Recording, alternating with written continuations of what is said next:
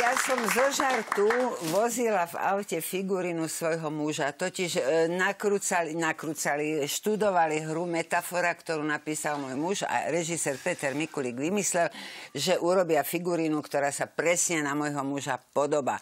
A potom od tohoto nápadu upustil, tak ja som si tú figurínu zobrala a zo žartu som ho vozila, teda môjho muža figurínu v aute. A raz som teda išla do obchodu, zastala som a tiež som dostala taký veselý nápad, že som tú figurinu preložila na, k šofér, na šoférske miesto a keďže tá hlava nebola dobre pripevnená, tak som ju oprela o volant. A odišla som teda do obchodu a keď som sa vrátila, Pravda, že nezamkla som dvere, však keď tam bol šofér.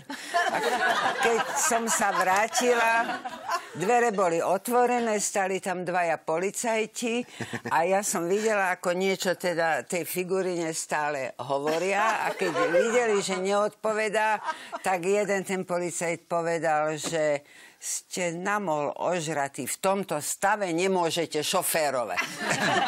Keď si mala